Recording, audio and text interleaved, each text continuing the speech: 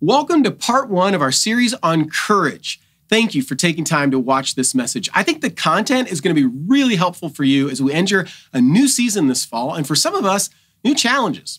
Unfortunately, we had technical challenges with the live stream this past Sunday, so the following presentation will be audio only. Well, um, we are super excited about a new school year. I get fired up at this time of the year because I think it's an incredible opportunity to start fresh. And I need fresh beginnings. Are you like me? Like, I need a fresh start. I need new beginnings. I need to feel like, you know, the slate has been wiped clean. This is going to be a new season. This season is going to be better, right? Because if I look back, sometimes the previous season can be a little bit exhausting. If we look back, we get a little bit discouraged. If we look back, we get a little bit depressed. And so I need to look forward. I need to look ahead. I need to be excited about this new year. And you have been through an incredible couple of years. You have had a difficult season. Maybe you're sitting here today and you're like, yeah, I'm kind of excited about this new season. I'm kind of excited about what's ahead, but I'm a, I'm a little bit daunted also. I'm a little bit intimidated. I'm a little bit uncertain because, you know, what lies ahead could be difficult. I've just been through a difficult couple of years. Maybe these last couple of years created a lot of uncertainty for you. Maybe these last couple of years created a lot of insecurity for you. Maybe during these last couple of years, you just felt like you were taking hit after hit after hit. And now, as you look forward and there's a new opportunity, you recognize that with this new opportunity will also come some new challenges. And summer's great, right? Summer's awesome. It's a nice chance to sit back and relax. And, you know, we all get to coast just a little bit during the summer. But now fall comes and we're gearing back up. And for some of us, we're not sure if we just have the energy because we have just, we are tired from the last two years. We are discouraged from the last two years. Maybe, in fact, you feel a little bit like this gentleman who um, was asked to provide some additional information to his insurance company because of a medical claim that he had filed. And um, his response was this He said, I am writing in response to your request for additional information. In block number three of the accident reporting form, I put poor planning as the cause of my accident. You said in your letter that I should explain more, and I trust that the following details are sufficient. I am a bricklayer by trade. On the day of the accident, I was working alone on the roof of a new six story building. When I completed my work, I discovered that I had about 500 pounds of bricks left over. Rather than carry the bricks down by hand, I decided to lower them in a barrel by using a pulley, which fortunately was attached to the side of the building at the sixth floor. Securing the rope at ground level, I went up to the roof, swung the barrel out, and loaded the bricks into it. Then I went back to the ground and untied the rope, holding it tightly to ensure a slow descent of the 500 pounds of bricks. You will note in block number 11 of the accident reporting form that I weigh 135 pounds. Due to my surprise at being jerked off the ground so suddenly, I lost my presence of mind and forgot to let go of the rope. Needless to say, I proceeded at a rather rapid rate of speed up the side of the building. In the vicinity of the third floor, I met the barrel coming down. This explains the fractured skull and the broken collarbone. Slowed only slightly, I continued my rapid ascent, not stopping until the fingers of my right hand were two knuckles deep into the pulley. Fortunately, by this time, I had regained my presence of mind and was able to hold tightly to the rope six stories above the ground in spite of my pain. At approximately the same time, however, the barrel of bricks hit the ground and the bottom fell out of the barrel. Devoid of the weight of the bricks, the barrel now weighed approximately 50 pounds. I refer you again to my weight in block number 11. As you might imagine, I began a rapid descent down the side of the building. In the vicinity of the third floor, I met the barrel coming up. This accounts for the two fractured ankles, the lacerations on my legs and lower body. This encounter with the barrel slowed me enough to lessen my injuries when I fell onto the pile of bricks. And fortunately, only three vertebrae were cracked. I am sorry to report, however, that as I lay there on the bricks in pain, unable to move, and watching the barrel six stories above me, I again lost my presence of mind and let go of the rope. you feel like that sometimes in life? You feel like you just keep getting beat up, right? And uh, it just feel like I just need a break. And, and as I have been really thinking and praying over the last three or four months about what to start this fall with, what we're going to talk about here for the next four weeks as we kick off this new season, I have really been hearing a lot of y'all's stories about just feeling tired. Just feeling like, you know, um, I, don't, I shouldn't feel this way. I don't know why. We, we always preface this like, I shouldn't feel this way, but I just feel tired. I feel like there's something about the last couple of years that has exhausted me. I don't know if it's been COVID and all the concern around COVID. I don't know if it's been how that's affected uh, the economy and the markets. I don't know if that's how it's affected my, my job, my business, my company, my industry. I don't know if that's affected my relationships um, at home and with, with, with distant relatives. I don't know if it's the politics and all of the division and the conflict. I don't know, but I just feel kind of exhausted. And the reality, as we look into the next four to six months, as we look into this next season ahead of us, um, there's still uncertainty. There's still a financial roller coaster ahead of us. There's uh, foreign entanglements and we don't know which ways that some of these tensions are going to go. And for a lot of us, we feel like we could be riding into a storm. And so there are opportunities, but we recognize that with those opportunities come some challenges. And so I would like to talk a little bit today about what I believe we need as a people to move through this next season and to not allow discouragement to take hold, not allow discouragement to overwhelm us, not to be pulled down into the challenges of life, but to rise above and to move through the storm that might be ahead.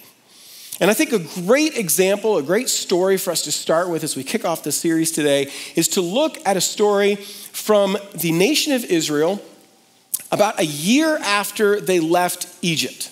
Now, if you, uh, if you know some of the stories from the Hebrew Bible, you might remember that the nation of Israel had um, started with Joseph going to Egypt, and then the rest of his family followed.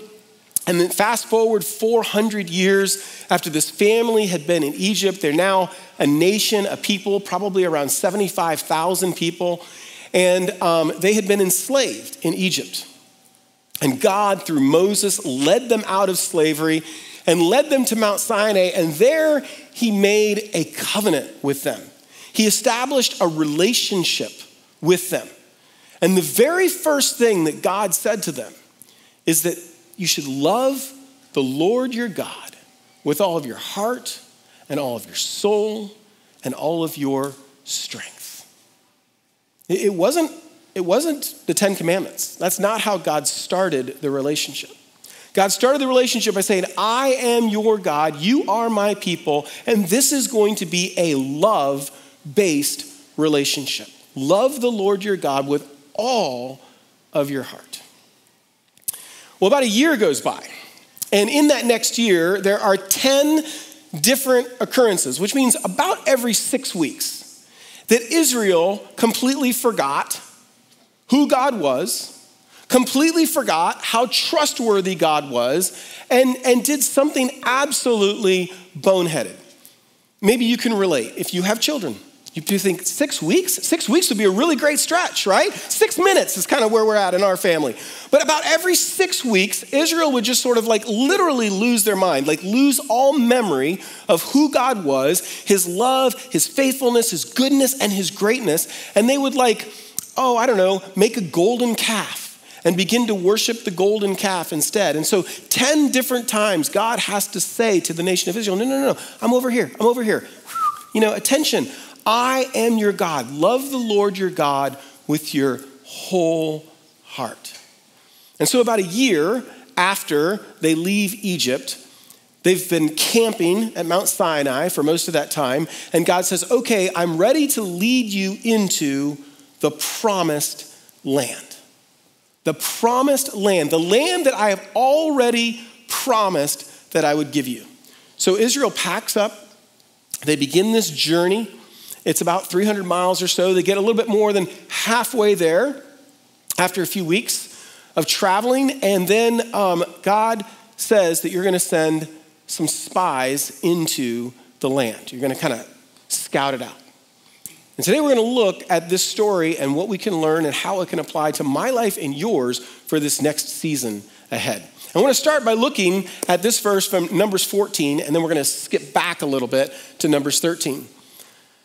But God says, Because my servant Caleb has a different spirit and follows me wholeheartedly, I will bring him into the land he went to, and his descendants will inherit it. These two character qualities, I think, are necessary for you and I as we move into this next season. A season with great opportunity, but also challenges ahead. We will need to have a different spirit, and we will need to be wholehearted. This is what God admired in Caleb. Can you imagine God looking at you and saying, This is what I admire about Marino. This is what I admire about Rick. This is what I admire about Lauren. How cool would that be that God would name you specifically and say, He had a different spirit and He's wholehearted. And when, and when God said wholehearted, that echoed right back to what Israel had been told to love the Lord your God with your whole heart. So, today we're going to talk a little bit about what it means to be wholehearted. But first, we're going to back up a little bit and we're going to go to how Israel chose these 12 spies to go into the land. And I'm going to read some names here, and um, we're, we don't usually you know, the, the, Old Testament, sometimes you get into some of this and you're like, man, I don't know how to pronounce these things. It's a little bit difficult. But hang with me for a minute because it's relevant and we're going to move through it pretty quickly here. But the Lord spoke to Moses, saying, Send men to spy out the land of Canaan, which I am giving. This is important to hang on to as we go through the rest of the story because God did not say, uh, send some spies into the land to see if, there's no if in this, to see if you can take the land. God is saying, I am giving you the land. What do you have to do to receive a gift?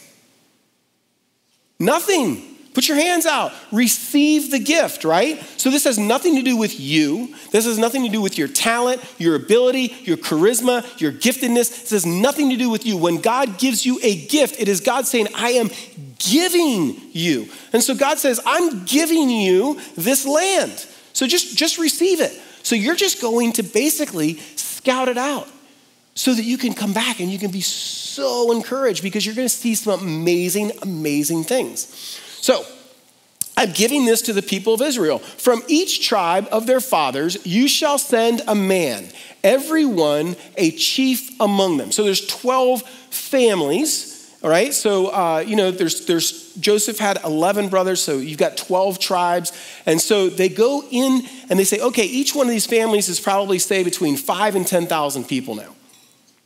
So each one of them is a leader among leaders. We're going to select from each tribe one person. So Moses sent them from the wilderness. Wait, back up. All right. Okay, I guess we're good. Sorry. So Moses sent them from the wilderness of Paran, according to the command of the Lord, all of them men who were heads of the people of Israel. And these were their names. Here's where it gets exciting. From the tribe of Reuben, Shammua, the son of Zaccur. We're going to go through these fast. From the tribes of Simeon, Shaphat, the son of Hori. From the tribe of Judah, Caleb, the son of Jephunneh. From the tribe of Issachar, Ilgal, the son of Joseph. From the tribe of Ephraim, Hoshea, the son of Nun. From the tribe of Benjamin, Palti, the son of Raphu. From the tribe of Zebulun, Gaddiel, the son of Sodai. From the tribe of Joseph, that is from the tribe of Manasseh, Gaddi, the son of Susi. From the tribe of Dan, Ammiel, the son of Gemalli.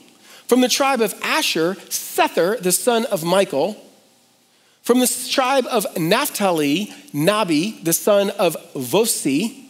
From the tribe of Gad, Guel, the son of Machi. These were the names of the men that Moses sent to spy out the land. And Moses called Hoshea, the son of Nun, Joshua. Okay, so here's a list of some of these names, okay? These are 10 names, and I want you to look at these names real carefully. And if you see your name on the screen, I want you to raise your hand. If you named any of your children one of these names, raise your hand. Really? There's some winners up here. Okay, if you if you're related to anyone, if you work with anyone with one of these names, not so much, right? Very interesting. 12 were selected, all of them heads, chiefs, leaders of their respective families.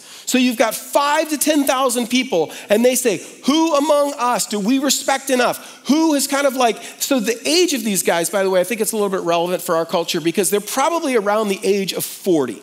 This is just guessing based on what we know about Joshua and Caleb at the time. And uh, so I want you to think in our culture, we would think like, who made it on the 40 under 40 list, right?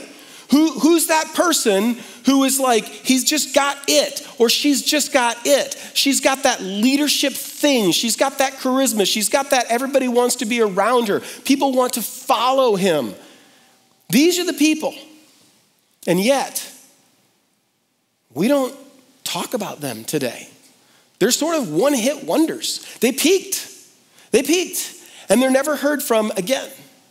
But these other two, Joshua and Caleb, have any Joshuas or Calebs in the room? Do we have anybody that knows a Joshua or Caleb? Do we have anybody who named their kids Joshua or Caleb? Yeah.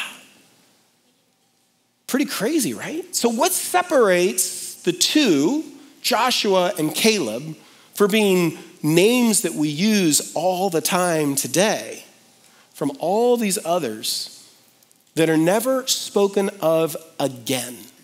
They are, they are never mentioned after Numbers chapter 14. Because after Numbers chapter 14, God said, Nope, you're done. But Joshua and Caleb had a future. In fact, they would go on to be leaders in the nation of Israel for the rest of their lives, another 45 years. So, so it's really crazy because um, what happens is they go into the land, these 12 spies, and they see some pretty incredible things. They see, um, they see incredible fruit and they see a land that, just as God had promised, was flowing with milk and honey. In fact, they take some grapes, and the grapes are so big that they have to put the clump of grapes on a pole, and the pole is carried by two men. This is how amazing the land is. But the land has also got some challenges. And what we see here as we move forward, what distinguishes the 10 from the two is the perspective with which they saw the opportunities and the challenges that lay in front of them. And I think that it's really fascinating because they were gone for 40 days. And we're not told very much at all about what they did and what they saw in those 40 days. It's just a few verses. But we're told that they, they went to different regions of the land of Israel. They saw different people groups. They saw different fruit and all of that, but together they're traveling as a group of 12 the entire time. And, and when they are finished with this journey, 10 come back discouraged. And they say, We cannot do it. We just cannot take the land. And two come back with courage. And they say, we can do this because God has given us the land. And, and I wonder, as these 12, this is just me wondering, the 12 are traveling together, they're camping together, they're walking together. And at what point do the factions begin to develop in the group, right? Like when they left, I imagine that all 12 of them were pretty open minded. But then, as they see different things and as they experience different things, some of them begin to develop a little bit of a negative attitude, and some of them develop a little bit of a positive attitude. And at some point, that settles out to 10 and 2. That's all we know is kind of the end of the 40 day journey that they are in Israel. But I'm really curious about like, how did that happen? How did that develop? What did their conversations sound like? At what point were the negative guys, you know, outweighing the voices of the positive guys? And, and what did those conversations sound like around the campfire at night? Because what's crazy is they all saw the same things. They all experienced the same land. But they saw it through a different lens. Some of them saw it through the lens of, my God is so big. I saw him split the Red Sea. I saw him deliver us from Pharaoh. Nothing can stop my God. And some, of, some saw it through the lens of, these are really big problems. These are really big people. This is a really big challenge. And it turns out that your faith your faith, meaning how you see God, your faith is a lens through which you see the world. You see the world through a lens that is your faith. It affects what you see when you get up in the morning. It affects the relationships and how you interact with your family. It affects your attitude, your mentality, your resilience in the time of storm, your resilience in facing difficulties. And so there's a distinct difference between the different spirit that Caleb had and the wholeheartedness that he had from the rest of the 10. See, the reality is that when, your when your heart is full of God, there's no room for doubt and discouragement to creep in. The idea is that his, he was so full of, he was so wholehearted in his faith and his belief in God that there wasn't room for anything else.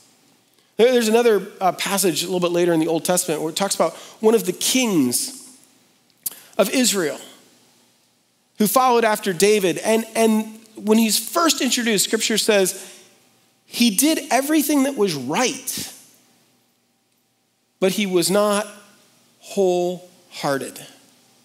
And later, his story ends with tragedy. You see, it's not about our behavior, it's not about what we do. Man looks at the outward appearance, but God looks at the heart. And he wants our hearts to be full of him. All right, let's come back to our story about the spies. So Moses sent them out, right? Moses sent them out to spy out the land of Canaan, and he said to them, Go up into the Negeb and go up into the hill country and see what the land is, and whether the people who dwell in it are strong or weak, whether they are few or many, and whether the land that they dwell in is good or bad, and whether the cities that they dwell in are in camps or strongholds, and whether the land is rich or poor, and whether there are trees in it or not. Be of good courage.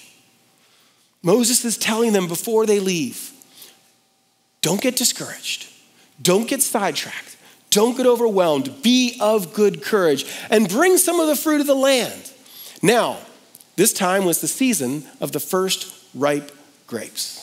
And so off they go to explore the land and to see what God had already promised to give to the nation of Israel. And at the end of 40 days, they returned from spying out the land. And they came to Moses and Aaron and all of the congregation of the people of Israel in the wilderness of Paran at Kadesh. They brought back word to them and to all the congregation and showed them the fruit of the land. And they told him, We came to the land which you sent us. It flows with milk and honey, and this is its fruit. In other words, it's all good news. It's amazing. And then one of them says, However, you ever been in those meetings? However, however, I do have to point some things out, right? However, I don't think this is going to go well. Now, here's a reason why the howevers pop up a lot of time. A lot of the time, we confuse the purpose to which God has called us with the plan that we have developed. And when we see that our plan has problems, we begin to doubt the purpose to which God has called us. Does that make sense? You see, the nation of Israel, these spies in particular, these 10 spies in particular, they could only imagine taking the land of Canaan in one way the way that they had seen armies function in the past. And in the past, they had seen that powerful armies triumphed over less powerful armies. And they're moving into this land and they saw powerful people. And yet, just a year before, they had seen God defeat Pharaoh's army on their behalf. But they had forgotten that. That was yesterday, and now I'm now I'm looking at today. Now I'm looking at a new storm. Now I'm looking at a new challenge, and I don't know. They had no idea that God was just going to say, Oh, hey, that first town, Jericho, you're just going to march around in circles. And then on the seventh day, you're going to blow your horns, and then I'm going to take care of the battle. But see, they didn't understand God's plan, and we often don't see God's plan. And so we write our own plan. And honestly, there's nothing wrong with having a plan. You should have a plan. But what, what is the saying? That there is no plan that withstands the first shot of battle? Or how did Mike Tyson say it? Everybody has a plan until they get punched in the face, right? So it's good to have a plan. But then you get punched in the face and you're like, oh, oh, all of a sudden we, we don't have a plan anymore, which means now we begin to doubt God's purpose. However, However, means that when the plan looks impossible, we begin to doubt God's purpose. This happens in our own lives. This happens in our own church, in our own organization, right? We had a plan a few years ago. We were like, we're gonna buy some land, we're gonna build a building, man, in no time, we're gonna be, you know, ready to go. And then real estate prices went through the roof, and we're looking at opportunities that are disappearing, and you think, oh, no. Maybe God didn't call us to St. Johns County. Maybe God doesn't have a purpose for us to share the love of God in this community. Maybe God, no. God's purpose is locked in. Our plans need to adapt to God's purpose. If you're sitting on some land, let's talk after the service. I'm not saying we don't still like the plan, okay? I'm not announcing there's any, I'm just saying that we sometimes get so attached to a plan, and when the plan doesn't start to work out the way that we thought it would, we begin to doubt God's purpose. God's purpose for you is the same. And in just a minute, I'm going to talk to you about what God's specific purpose is for you because I think you can know what God's purpose is. I think you can be confident in what God's purpose is for your life. And I think you can have courage for this season ahead because God has a plan for you. But it means you need to be wholehearted. It means you need to have a different spirit. It means you can't be like the other 10. You have to stand alone. You have to have a different voice, a different spirit. When the, when the discouragement creeps in, you have to say, no, no, no, no, there's no room for that. My heart is full. I am wholehearted. But the voices of discouragement will be loud and convincing.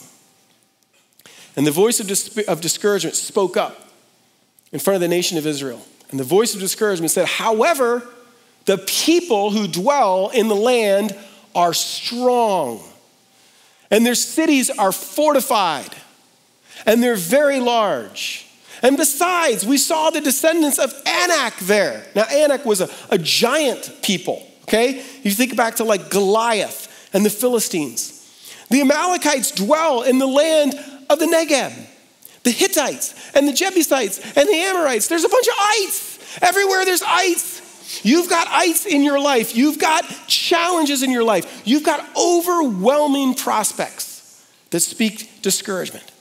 They dwell in the country, and the Canaanites dwell by the sea and all along the Jordan. In other words, everywhere you go, there's a problem. But Caleb, Caleb, who was of a different spirit and wholehearted, Caleb speaks up. And he said, Let us go up at once. like now, today. No, we don't, we don't need time. Right now, there's no better time than right now. Let us go at once and occupy it, for we are well able to overcome it. We are well able. I want you to say that this week. We are well able. Because of you, because of your talent, because of your charisma, because of you've got no, because God is giving you a gift. Because God has a purpose that He wants to work out through your life. You are well able. But you cannot be like the 10 whose names you don't even remember.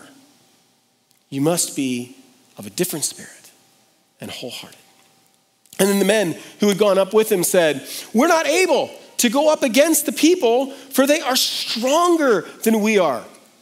So they brought to the people of Israel a bad report of the land that they had spied out, saying, The land through which we have gone to spy out, it's a land that devours its inhabitants. Now, they just told us about all the people that lived there and how well all these people were doing. They're strong and they're able bodied and all. But, and then at the same time, but it devours the inhabitants. You know, we can't even, if, the, if we could overcome the people, the land itself is hostile, the land itself would devour us. And all the people that we saw in it are of great height. These people have tall privilege. Because most people with tall privilege, it's a real thing, right? The rest of us are like, don't discount that tall privilege. But the nation of Israel looks at this and they're like, this is, this is not even a fair fight.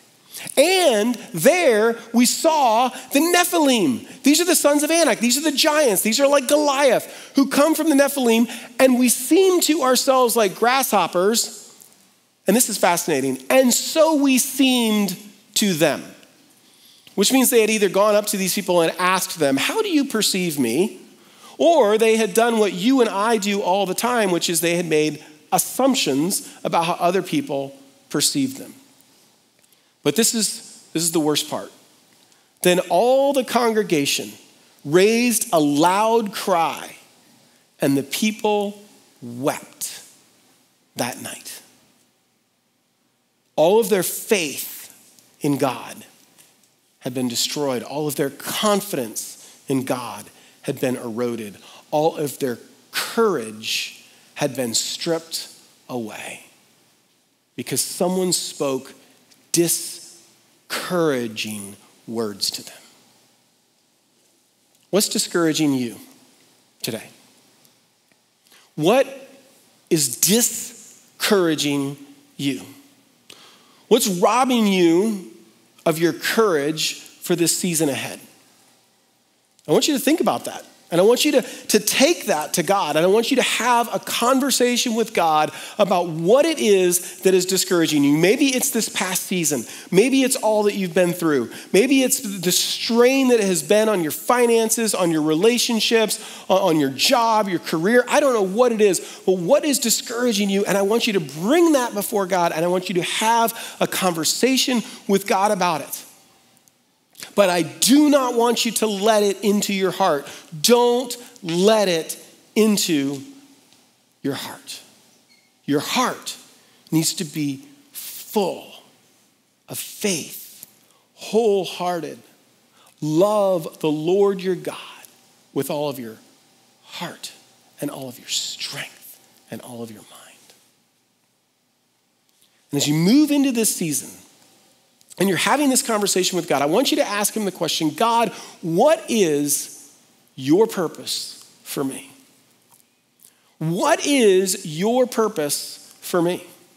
Now, if you're here today and you're a Jesus follower, if you're someone who says, I've surrendered my life to God, then I can tell you with clarity what God's purpose is for your life.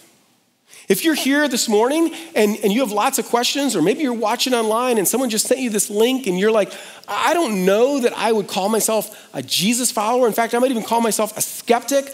I might even say that I'm someone who's a bit cynical about religion and faith and all of these things, then, then I can't tell you, I can't speak to you for what your purpose is. Maybe you feel confident in that, and maybe you're still asking questions. I think a great starter prayer for you might be God, help me to see as you see. Help me to see through your lens. Give me an understanding of what my purpose might be in this world. But if you're a believer, if you're someone who says, I've surrendered my life to Jesus, I want to follow after him, then your purpose is clear. Your purpose in this life above everything else. Maybe God's giving you other purposes. Maybe God's going to use you to do some phenomenal things. Maybe God's going to use you to cure cancer. Maybe God's going to use you to help us colonize Mars. Maybe God's going to help you, you know, do amazing things for your HOA. God bless you. Dream big. But bigger than any of that, God has called you to inspire other people to follow Jesus. This is your purpose. And we all live that out differently, right? Some of us do it working in the church. Some of us do it working in the local hospital. Some of us do it working in the local school system. We all live that out differently, but God has given you above anything else you think about all the things that you want to accomplish this fall. You think about everything that's on your to do list. At the top of that list is to inspire people to follow Jesus. Don't confuse your plan and how well your plan is going and what the chances of success are for your plan with God's purpose. So, as we move out of this first message here, I want to give you some steps, some practical things, okay? First of all, move away from what is discouraging you, what is robbing you of your courage. Maybe that what is a who. I think about this group as they traveled together, and I think, did they start off 10 and 2? Or, or was there a discouraging, cynical, negative, toxic personality who managed one by one by one to pick off those who were not of a different spirit and wholehearted? Um, one of my favorite books is a book called Willpower Doesn't Work.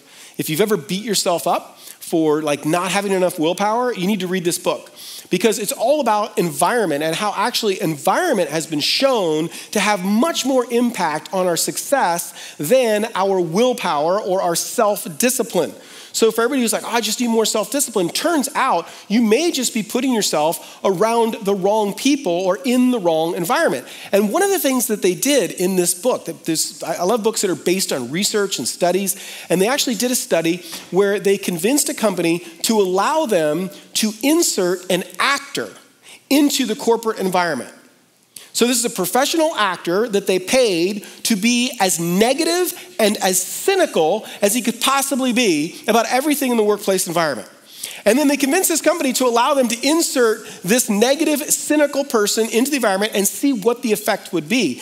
And what they were curious to study is who would be most impacted? Would it be the people who'd been at the company the least amount of time? Would it be the people who already sort of lean toward a negative mindset? Like, who exactly would be impacted by this negative mindset? It turned out that you literally could use a tape measure at the end of the study, and you could measure the distance from that person's desk to other people's desks in the building. And the closer they were in physical proximity to the toxic personality, the more likely they were to answer negatively on the employee satisfaction survey at the end of the three month period they did this study. It's fascinating. Just physical proximity. It had nothing to do with how long you'd been at the company, and there were all these other factors they thought it would, but no. Turns out being around negative people is not good for your soul. It's not good for your wholeheartedness. So maybe you need to move away from discouraging influences. And then move toward the Calebs. I think that it's fascinating that Joshua is actually the one that ends up leading Israel after Moses. But Joshua is the one that is specifically called out in Numbers 14 for being of a different spirit and wholehearted. And, and why God chose Joshua to be the, the leader of Israel after Moses, you know, we, we're not given all the answers to that. But I think that Caleb around that campfire was the one who just continued to say, My God is faithful.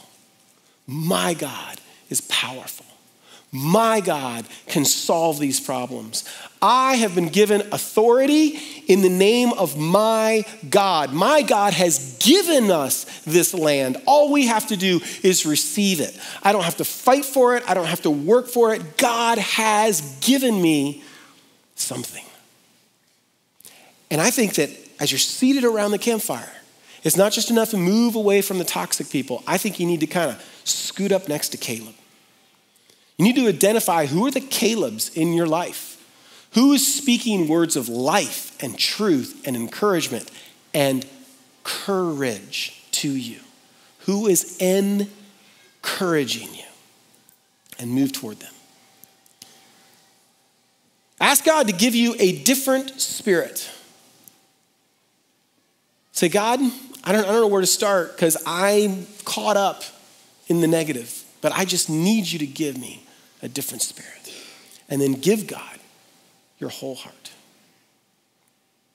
Give God your whole heart. One of my best friends, um, about two years ago, had a massive heart attack. And as he was being rushed in the ambulance, they realized that they were not going to make it to the hospital in time. And so they, they pulled into a church parking lot and they offloaded him from the ambulance and put him into a helicopter to life flight him to the hospital.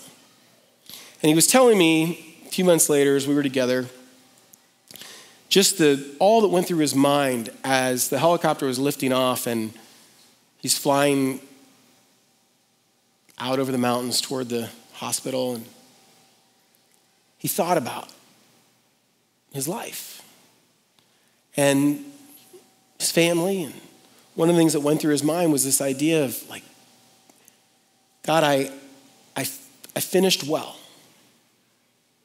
I didn't, I didn't drop the ball with my kids. I didn't drop the ball with my marriage. I didn't drop the ball with my business. I finished well.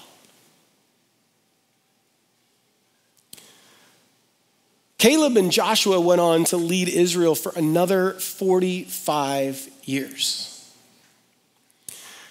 And it's really cool to see how the rest of their story plays out. But the reality is that these 10, they were selected as leaders, man. They were the 40 under 40, but they peaked early. It's not how you start, and it's not even how high you rise, it's how you finish. Can you hang in there? Can you keep the faith? Can you keep the fight? Can you stay encouraged? Can you finish well? If you fast forward all the way through to the beginning of the book of Joshua, Joshua now, it's 40 years later because the nation of Israel didn't listen to Joshua and Caleb.